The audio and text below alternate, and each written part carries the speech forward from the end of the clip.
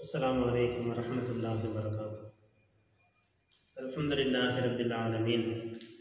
محمد صلی على رسول کریم ونشهد أن لا إله إلا الله وحده لا شريك له ونشهد أن سيدنا مولانا محمدا صلى الله عليه وسلم۔ وعلى آله وصحبه أجمعين அன்பிற்குரிய BNT media நேயர்களே சகோதர சகோதரிகளே இந்த இணையதள வழியாக நாம் தொடர்ந்து சகாபாக்களுடைய வாழ்க்கை வரலாறுகளை நாம் அறிந்து வருகிறோம். அந்த வரிசையில் இன்று நாம் பார்க்க போவது சாதுபன் அபி வக்காஸ் அலி இவங்களும் இஸ்லாத் ஆரம்பத்தில் இஸ்லாத்தை ஏற்றுக்கொண்டவர்கள். இவங்களுடைய பெயர் சகத் இவருடைய தந்தை பெயர் மாலிக். ஆனால் அவங்களை புண்ணியத்திலே அழைக்கப்படுறாங்க. அங்கே பிள்ளையனுடைய பேர் அபி வக்காஸ் அப்படிங்கிற அழைக்கப்படுறாங்க. ஆனால் அவங்களுடைய அசல் பெயர் மாலிக். இவங்களுடைய தந்தை பெயர் ஹம்னா ஹம்னா பிந்து சுஃபியான் அப்படின்னு சொல்லுவாங்க. இப்போ இவங்க எப்போ இஸ்லாத்துக்கு வராங்கன்னா அவங்களே சொன்னாங்களாம் நான் பதினேழு வயதாக இருக்கிற போது இஸ்லாத்தை ஏற்றுக்கொண்டேன் அப்படின்னு சொன்னாங்க. அவங்க இஸ்லாத்தை ஏற்றுக்கொள்ளும் போது பதினேழு வயது. அப்போ அவங்க இஸ்லாத்தை ஏற்றுக்கொள்வதற்கு ஒரு அற்புதமான ஒரு காரணத்தையும் சொல்கிறாங்க இது அல்லாவுடைய ஏற்பாடு. ஆயிஷா அம்மா ரதி எல்லாம் அவங்க இவங்க சொன்னதாக ஒரு செய்தி அறிவிக்கிறாங்க. இவங்க சொன்னாங்களாம் எனக்கு அந்த ப பதினேழு வயதை தொடுகிற போது நான் ஒரு அன் அன்றைய இரவு நான் ஒரு கனவு கண்டேன். என்னுடைய கனவு கடுமையான இருட்டு. அப்போ அந்த சந்திரன் வெளிச்சம் விழுது. அந்த சந்திரனுடைய ஒளியில் நான் அப்படியே நடந்து போகிறேன் போனால் அந்த சந்திரனுடைய ஒளியிலேயே பின்தொடர்ந்து வந்தவர்கள் ஒரு சில பேர் எனக்கு முன்னாடி நான் பார்க்குறேன். அந்த வெளிச்சத்தில் அந்த இருட்டில் இருந்து அந்த வெளிச்சத்துக்கு வந்த ஒரு சிலரை நான் பார்த்தேன். அவங்க யாருன்னு அவங்களும் சொல்கிறாங்க ஒன்று ஜெயிது புனா ஹாரிசா அது இன்னொருத்தவங்க அலிரதி எந்தாவணும் மூன்றாவதாக அபூபக்கர் சித்திக் அருதி இவங்களையெல்லாம் நான் பார்க்குறேன். கனவு முடியுது. மறுநாள் காலையில் இந்த செய்தி வருது. முகமது சல்லல்லாஹு அலைஹி வஸல்லம் அவர்கள் ஒரு மார்க்கத்தை மக்களுக்கு எடுத்துரைக்கிறாங்க. அதை யாரெல்லாம் ஏ ஏற்றுக்கொண்டாங்க அப்படின்னு நான் விசாரிக்கும் போது பார்த்தா இவங்க மூணு பேர் இஸ்லாத்தை ஏற்றுக்கொண்டாங்க. அப்போ இவங்களே சொன்னாங்க நான் இஸ்லாத்தை ஏற்றுக்கொள்கிற போது இவங்க மட்டும்தான் இஸ்லாத்தை ஏற்றுக்கொண்டிருந்தாங்க. அப்போ ஒரு கருத்து பிரகாரம் இவங்க நான்காவதோ அல்லது ஐந்தாவதாக இஸ்லாத்தை ஏற்றுக்கொண்டிருக்கிறாங்க. அப்போ பதினேழு வயது இவங்க ஐந்தாவது நபராக இஸ்லாத்தை ஏற்றுக்கொண்டாங்க. ஏன்னா இவங்களுடைய தாயார் ஹம்னாமா சொன்னோம்ல அவங்க இவங்க மகன் மேலே ரொம்ப பிரியமாக இருந்தாங்க. இஸ்லாத்தை ஏற்றுக்கொண்ட உடனே அதை அவங்களால ஜீரணிக்க முடியல. நம்முடைய பழைய மதத்திலிருந்து புதிதாக ஒரு இஸ்லாம் ஒரு மதத்தை ஏற்றுக்கொண்டாரு ஒரு மார்க்கத்தை ஏற்றுக்கொண்டாருன்னு சொல்லிட்டு அந்த அம்மா சரி தன் மகன் தன்னோட திரும்ப வந்துடணும் பழைய மதத்துக்கே வந்துடணுங்கிறதுல அவங்க ஒரு உண்ணாவிரதம் இருந்தாங்க மகன்கிட்ட சொன்னாங்களாம் மகனே நீ பழைய நம்முடைய பழைய மதத்துக்கு நீ வரலன்னு சொன்னான் இந்த இஸ்லாமிய மார்க்கத்தை விட்டுட்டு பழைய மதத்துக்கு வரலன்னா நீ வர வரைக்கும் நான் சாப்பிட மாட்டேன் உண்ண மாட்டேன் அப்படின்னு சத்தியமே பண்ணிட்டாங்க. அப்படி ஒரு சில நாட்கள் அப்படி சாப்பிடாம இருந்தாங்களாம். எந்த அளவிற்கு சொன்னால் அவங்க உடல்களும் பலகீனம் ஆயிடுச்சு மரணம் ஆயிடுவாங்களோ அப்படிங்கிற ஒரு கட்டத்துக்கு கூட வந்தாங்களாம். இவங்க அதை பொருட்படுத்தவே இல்லை நோயாளியாக கூட ஆயிட்டாங்க. இவங்க அதை பொருட்படுத்தவே இல்லையா? சாது நபி வக்காசரதியம் தான் தன் தாயார் இப்படி இருக்கிறத பார்த்து கொஞ்சம் கூட அவங்க பொருட்படுத்தலை. ஒரு கட்டத்தில் இப்படியே சொன்னாங்களாம். தன் தாயாரை பார்த்து சொன்னாங்களாம் தாயே அல்லாஹுத்திற்கு உங்களுக்கு ஒரு உயிர் தான் கொடுத்துருக்குறான். அல்லாஹு தானா இதற்கு பகரம் உங்களுக்கு ஆயிரம் உயிர் கொடுக்கப்பட்டிருந்தது. அந்த ஆயிரம் உயிரையும் இஸ்லாத்தை விடணும் நான் உயிரை விட்டார் அப்படின்னு சொன்னாலும் கூட அந்த அந்த ஆயிரம் உயிர்களும் பொருட்படுத்த மாட்டேன்னு சொன்னாங்க. சாதுக்கு நபி வக்காஸ் நம்பி இருந்தாங்க அதுக்கப்புறம் அந்த அம்மா பார்த்தாங்க சரி நம்ம மகன் இவ்வளோ பிடிவாதமாக இருக்கிறான். நம்மளை கட்டுப்படுத்த முடியாது தன்னுடைய உண்ணாவிரத்தை முடிச்சு கொண்டாங்க இதுக்கப்புறம் தன்னுடைய மகனை வலியுறுத்த முடியாது. அல்லாஹூ தன் இவங்களை பாராட்டினா குரான் இப்படி ஒரு ஆயத்தை இறக்கி வைத்திருக்கிறான் சூரத்து லுக்குமான் முப்பத்தி ஒன்றாவது சூறாவில் பதினைந்தாவது ஆயத்தை இந்த ஆயத்த குரானில் பதிவு செய்யப்படுது. வைஞ்சா ஹதாக்க அலா அந்த துஷிருக்க மா லைசனக பிஹி இல்முன் ஃபலா துத்திரகுமா வசாஹிபுமா ஃபி துன்யா அது உங்களுக்கு அறிவில்லாத ஒரு விஷயத்தின் மீது நீங்கள் இணை வையுங்க. இன்று உங்களுடைய பெற்றோர்கள் தாய் தந்தர்கள் உங்களை முயற்சி செய்தால் உங்களை தூண்டுனா நீங்கள் அதுக்கு வழிபடாதீங்க. அப்படின்னு அந்த அந்த ஆயத்தை இவங்க விஷயமாத்து இறக்கி வைத்தாங்க இப்போ நம்ம ஏற்கனவே பல சகாபாக்கள் நம்ம கேள்விப்பட்டிருக்கோம். தன்னுடைய குடும்பத்தாரை விட தீன நேசித்தவர்கள். அந்த அடிப்படையில் இவங்களும் சாதுபுல் அபி மக்கா சரதியந்தாவனும் இந்த தீனுக்காக தன் தாயை கூட இழக்க முன்னுண்டார்கள் அல்ல அவங்க ஞாபகார்த்தமாக கியாமத்து வரைக்கும் ஓதப்படக்கூடிய இந்த ஆயத்தை குரானில் பதிவு செஞ்சுட்டான். இதெல்லாம் நமக்கு ஒரு முன்மாதிரியாக எடுக்கணும். அதான் நம்முடைய குடும்பம் தன்னுடைய மனைவி மக்களை விட அந்த அரசுல அள அளவுக்கு அதிகமாக நேசிக்கணும். அப்படிங்கிறதுக்கு சாதக நபி மக்கள் சத்தியம் தான் அவங்க முன் உதாரணம். இவங்களை பற்றி பல சிறப்பு அம்சங்கள் சொல்லப்படுது. ஹதீஸில் இவங்க யாருன்னு சொன்னால் ஒகு அகதும் அல்லதீன ஷஹீதுலகம் ரசூலுல்லாஹி சல்லந்தாலேசன் அலிசன் முதல் வாக்கு இவங்களுக்கு கிடைத்த முதல் சுப செய்தி சல்லந்தாலேசன் அவங்க சொர்க்கத்தினுடைய சோகம் சொல்லப்பட்ட பத்து நபர்களில் இவரும் ஒருவர். முஸ்துல் நகாபா போன்ற கிதாபுகளில் இபுன் ஆசிர் ரஹமத்துல்லா அலை ஒரு சிறப்பம்சத்தை பதிவு செய்கிற போது முதல் சிறப்பம்சமாக சல்லல்லா சிறந்த சொர்க்கம் சோ சொர்க்கத்தின் சோபனம் சொன்னாங்களே அதில் ஒருவர் இவங்க. அடுத்து யாரா வஹதத்துல் வஹதுல் அஷர்த்தி சாதாத்து சஹாபா. அதாவது தலைமைத்துவம். பத்து சஹாபிகள் இருந்தாங்க. தலைமைத்துவத்துக்கு பொருத்தமான அந்த பத்து சகாபாக்களில் ஒருவர் இவங்களும் ஒருத்தவங்க. சாதம் நபி வக்காஸ் நபி இருந்தாங்க அடுத்து மகது சித்தா சகாபு ஷூரா. அந்த ஆலோசனை உடைய அந்த ஆலோசனை செய்த அந்த ஆறு சஹாபிகள் ஆறு சஹாபிகள் ஒருவர் இவங்க. உமரந்து இருந்தாலும் மசூராக நியமிச்சாங்கல்ல.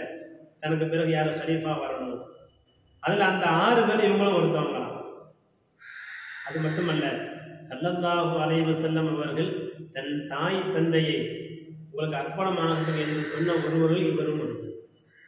எல்லாரும் சல்லல்லாஹு அவங்களையும் என் தாய்க்கு உங்களுக்கு அர்ப்பணமாகட்டும் உங்களுக்கான தியாகம் செய்ய தயார் அப்படின்னு சொல்லுவாங்க. ஆனால் இப்போ சல்லல்லா அவங்களே சாதிப் நபி மக்கா சரதி அந்த அவங்க இப்படி சு சுபச்செய்தி சொன்னாங்க. பிதா காபி உமி என் தாய் தந்தை உங்களுக்கு அர்ப்பணமாகட்டும் அப்போ இவங்க எந்த அளவிற்கு இந்த இஸ்லாத்துக்கு ஒரு அரணா ஒரு பாதுகாப்பாக உதவியாக இருந்திருக்கணும்? செல்லந்தாலும் இந்த வார்த்தையை சொன்னாங்களே இப்போ இந்த வார்த்தையை சொன்னாங்கன்னா உகது போர்க்களத்தில் இந்த வார்த்தையை பயன்படுத்தினாங்க. செல்லந்தாலயம் செல்லம் அவங்க உகது போர் கொண்டு பல சகாபிகள் விரண்டோடிடுறாங்க இந்த போருடைய சூழல். அதை கவனித்து பல சகாபாக்கள் பிரிந்து போயிடுறாங்க. இப்போ இவங்களுக்கு உறுதுணையாக இருந்த சகாபிகள்ல குறிப்பாக இவங்களும் ஒருத்தவங்களாம். சாதுபு நபி வக்காஸ் வந்து அவனும் ரசூல்லா பக்கத்தில் நெருங்க விடாமல் எதிரிகளை அம்பை கொண்டு எய்து விரட்டினாங்க. இதை இவங்க அம்பு இயக்கக்கூடிய வீரர். இவங்களை பற்றி வரலாற்றில் பதிவு செய்கிறாங்க அம்பு இயக்கக்கூடிய வீரர்கள் மிக தேர்ச்சி பெற்றவங்க சாதுபு நபி வக்காஸ் நந்தியல்லா அவங்க ஒருத்தவங்க. அப்போ இவங்களை அம்பு எய்து எதிரிகளை விரட்டி கொண்டே இருந்தாங்களாம். அப்படிதான் சல்லதான் எனக்கு இருமி சாது நபி வக்காஸ் நீங்கள் அம்பு ஏய்ங்க. என் தாய் தந்தை உங்களுக்கு அர்ப்பணமாகட்டும் அப்போ சல்லல்லாஹு அலைஹி செல்லம் அவங்கள தன்னுடைய தாய் தந்தை இவங்களுக்காக வேண்டி அர்ப்பணம் செய்து பாராட்டி சொல்லியிருக்கிறாங்க. அது மாதிரி இவங்க தான் அல்லாவுடைய பதில் முதல் முதலாக ரத்தத்தை ஓட்டியவங்க இவங்க தான். அம்பு எய்தி எதிரியை காயப்படுத்திய முதல் ஆள் இவங்க தான். அப்படிங்கிற சுப செய்தியும் சொல்லப்படுது. ஜாபிர் ரதி அல்லாஹ் அவங்க அறிவிக்கக்கூடிய ஒரு ஹதீஸ் அவங்க சொல்கிறாங்க அக்கபல சாகர் தான் அல்லாஹ் ஒரு தடவை சாகர் தான் ரசூல்லா சபையில் இருக்கிற போது வந்தாங்க. ரசூல்லா முன்னோக்கி வந்தாங்க. ரொம்ப ஃபக்கால ரசூலுல்லாஹி சல்லல்லா அலைஹி வஸல்லம். சல்லல்லா அலைஹி சொன்னாங்களா ஹாதா ஹாலி. இந்த வரார் பாருங்க என்னுடைய மாமா.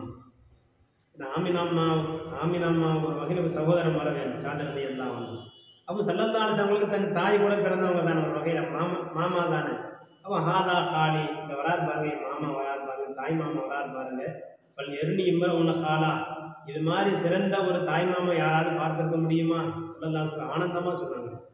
எனக்கு கிடைத்த ஒரு தாய் மாமனை போன்று வேறு யாருக்காவது கிடைத்திருக்கிறாங்களா? மேற்பட்ட இந்த பாக்கியமான என்னுடைய தாய் மாமா வராரு. அப்படின்னு செல்லந்தா செல்லம் அவங்க தன்னுடைய மாமாவை பாராட்டி சொன்னாங்களாம். சாதிரதி எல்லாம் அவங்க அப்போ செல்லந்தா அலிஸ்லாம் அவங்களோட அவங்க காலகட்டத்தில் நெருக்கமாக இருந்திருக்கிறாங்க. சாது நபி வக்காஸ் ரதி அல்லா அவனுக்கும் பல போர்க்களங்களை கலந்துருக்கிறாங்க. குறிப்பாக பத்ரு முஹது ஹந்தக்கு ஹுனைன் எல்லா போர்க்களத்திலையும் சல்லல்லா அருகாமையில் இருந்திருக்கிறாங்க. இப்படி ஒரு ஹதீஸ் பதிவு செய்யப்படுது. சூரத்தில் பக்கராவில் வரக்கூடிய ஒரு ஆயத்து தப்சீர் இபுனு கசீர் ரஹமத்துல்லாலி தங்களுடைய தப்சீரில் பதிவு செய்கிறாங்க சூரத்தில் பக்கராவில் நூறு நூற்றி அறுபத்தி எட்டு நூற்றி அறுபத்தொம்பது ஆயத்தாக இருக்கும். அந்த ஆயத்தில் அல்லாஹ் ஐயோன் நாசு குழு மிம்மா ஃபில் ஆரம் ஹலாலன் தையீபா அப்படின்னு நல்லா சொல்கிறான் மனிதர்களே நீங்கள் வந்து ஹலாலான பொருளை சாப்பிடுங்க. அப்படிங்கிற ஆயம் குழு யா ஐயுஹன் நாசு குழு மிம்மா ஃபில் ஹலாலன் தையிபா அந்த பூமியிலிருந்து வெளியாகக்கூடியது நீங்கள் நல்லதை நீங்கள் சாப்பிடுங்க. அப்படி இந்த ஆயத்தை இறங்குது. செல்லந்தாலை சங்க ஓதி காட்டுறாங்க சபையில்.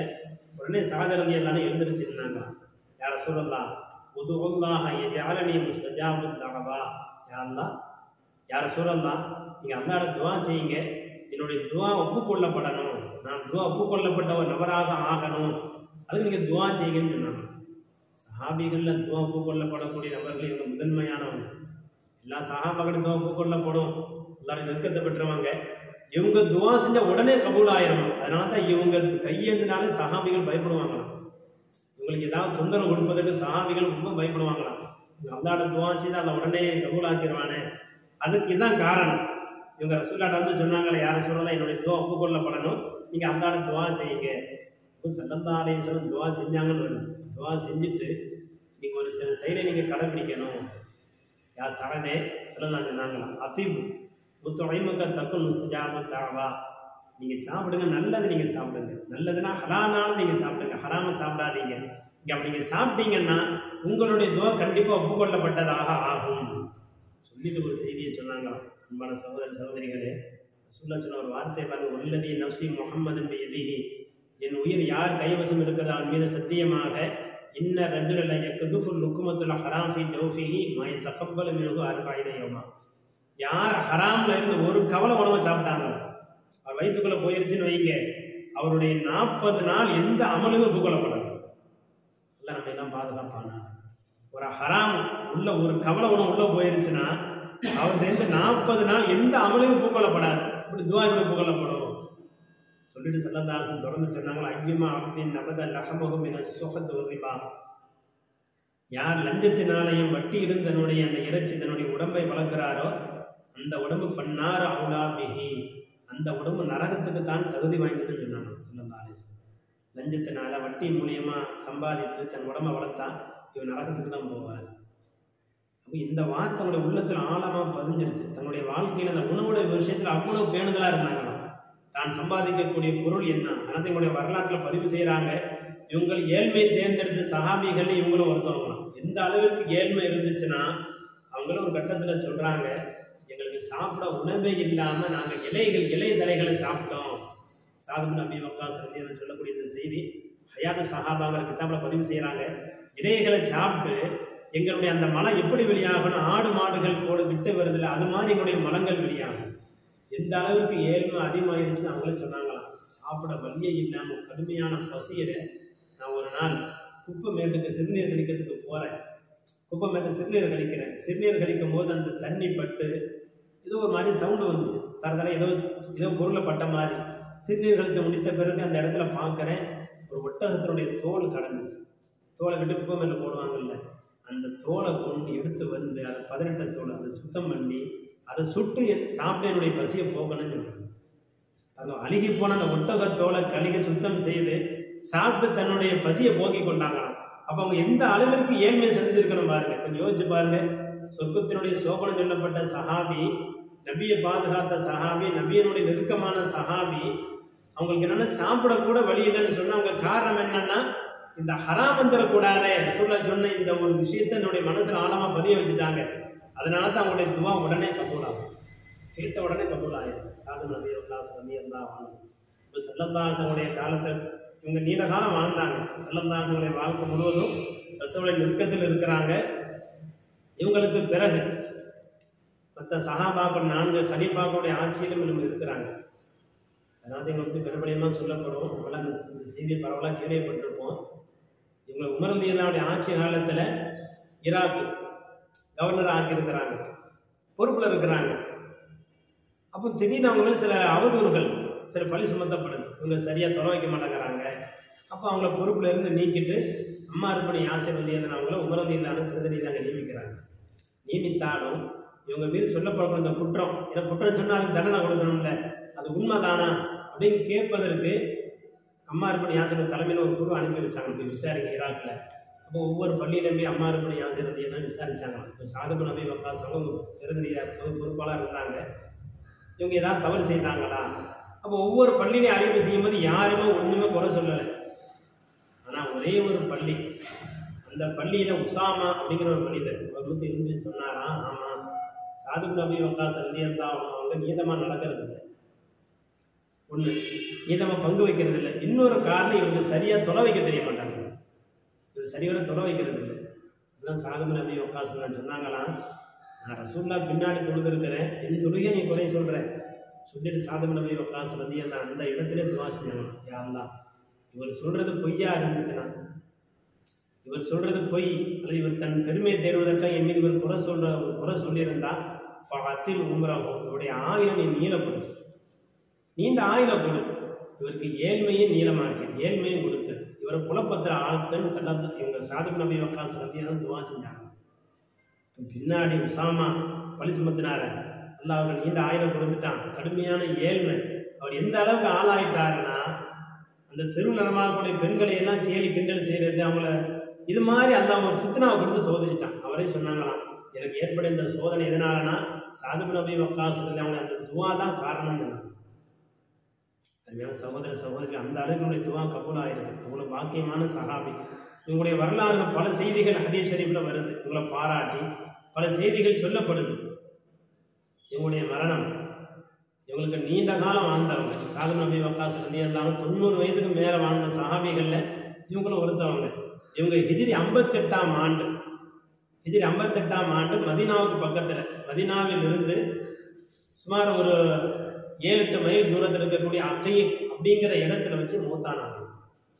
எங்களுடைய ஜனாசா பல ஆண்கள் அங்கிருந்து அந்த ஏறி இருக்கிற மைலுக்கு அப்பால் இருந்து மஸ்ஜித் திருப்பிட்டு வந்தாங்க. இந்த அந்த அந்த மரணத்துக்கு முன்னாடி சாதம் நபி வக்காஸ் வந்து அந்த கடைசி நேரத்தில் தன் மகனை கூப்பிட்டாங்களாம் அவர் மகன் ஆமீர். கூப்பிட்டு சொன்னாங்களாம் மகனே ஒரு பெட்டியை காட்டுறாங்க. அந்த பெட்டியை திறப்பா. திறந்து அதில் ஒரு பழைய ஆடை இருக்கும். அதை எடுத்துகிட்டு வா அப்படின்னு சொன்னாங்க. அவர் திறந்து பார்க்குற ஒரு ஜிப்பா இருக்குது சொன்னாங்க இந்த ஜிப்பா இருக்குது கஃபீனு ஃபீஹா. அந்த ஜிப்பாவில் என்னை நீ அடக்கம் செய் கஃபன் செய். ஏன்னா ஃபைனி குந்து லக்கியத்துல் முஷ்ரிக்கின ஃபீஹா யோமம் பதில் அந்த பதிலுடைய நாள் நான் காஃபிர்களை சந்தித்தேனே. இந்த ஆடையை போட்டு தான் நான் காஃபிர்களோடு சண்டையிட்டேன். அந்த ஆடை எனக்கு கபூரில் உறுதுணையாக இருக்கும். கபருடைய வேலையை பாதுகாக்க நான் ஆசைப்படுறேன். ஆதரவு வைக்கிறேன். அதனால் அந்த ஆடையோடு என்னை அடக்கம் செய்யுங்கன்னு சொன்னாங்களாம். சாது நபி வக்காஸ் தன் மகனார்னு சொன்னாங்களாம். பாருங்க அவ்வளோ நீண்ட காலம் வாழ்ந்தவங்க பதில் நடந்து இந்த உலகத்தில் அவங்க நாற்பது வருஷம் வாழ்ந்துருக்கிறாங்க.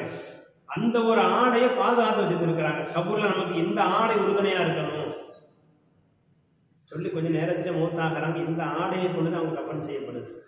இவங்க தான் ஆசரில் முஹாஜிரின மூத்தா. முஹாஜிரின்களில் கடைசியாக மரணித்த சஹாபி இவங்க தான் அப்போ இவங்க அந்த மதினாவுக்கு பக்கத்தில் அக்கைங்கிற இடத்துல மூத்தாகிறாங்க ஜனாசா கொண்டு வரப்படுது. மதினாவுக்கு கொண்டு வரப்பட்டு அந்த மஸ்ஜிது நபவியில் துருகம் நடத்தப்படுது. யார் தொலை வச்சாங்கன்னா மருமான் அவர் அப்போ தான் மதினாவுக்கு பொறுப்பாளராக இருந்தார். இவர் தான் ஜனாசா துருகம் நடத்தி ஜனாசா கூட்டம் தாங்க முடியாமல் முன்பள்ளியில் இந்த ஜனாசா வைக்கப்பட்டுச்சான். அப்போ இது மக்கள்கிட்ட சித்தனாக்கள் ஏற்படுது. சில தவறாக பேசிக்கிட்டாங்களாம். அதே போல் ஜனாசா உள்ளே வைக்கலாமா?